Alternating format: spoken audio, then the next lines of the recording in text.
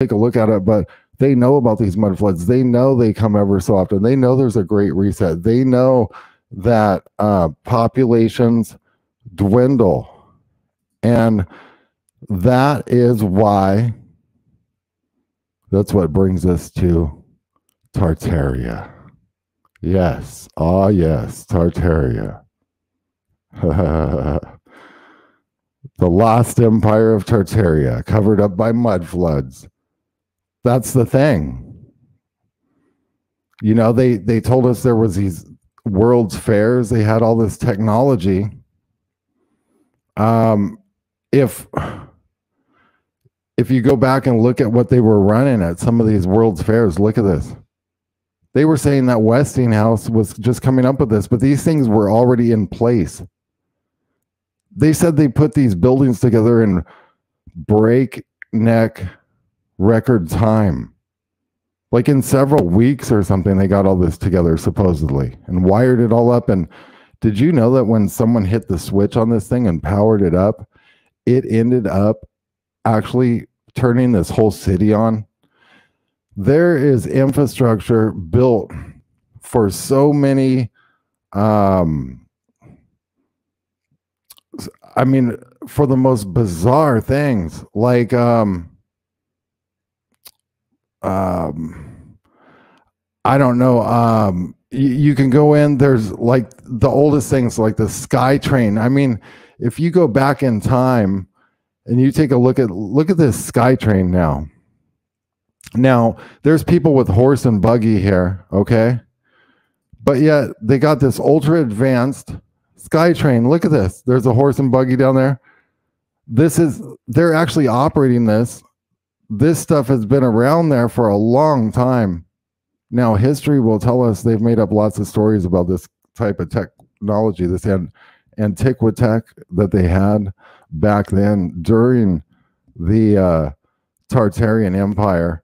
And if you watch this thing, I mean, this is literally like a modern day monorail. They don't even have stuff like this today. Just look at this uh, infrastructure that this thing is built with all of the stuff in Tartaria operated off of the ether, operated off of free power, uh, bricks, uh, um, store power like capacitors, the way they did their architecture. And if if we take a look at what's going on today in America, we see just junk. We see how things are built with brutalism.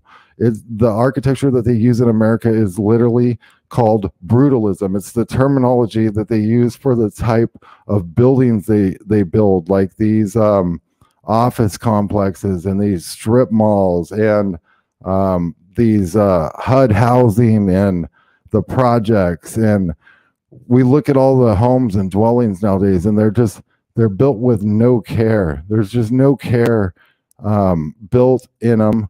Like we look at this Singer building in New York and this thing had all these elevators, all this technology, wiring, all sorts of stuff. And they demoed this in the mid 1900s. Um, they tried to hide this. They've been tearing down all the Tartarian architecture from the Tartarian Empire. They'll they'll tell you when this thing was built, and they'll make up lies about it.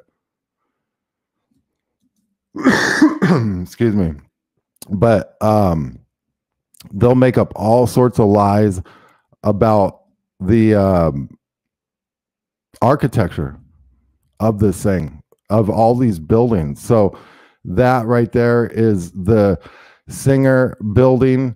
Um, you know, uh, a good example of this now is um, we we did talk about the World's Fair um, uh, and and how the World's Fair served as a vast cover up because if you go in and you really take a look at some of these um, World's Fair exhibits and and what they're really um, displaying at some of these exhibits, um, it's amazing. So you know you can do your own research on that, but uh, the World's Fair thing is very fascinating. We might talk about that here a little bit more.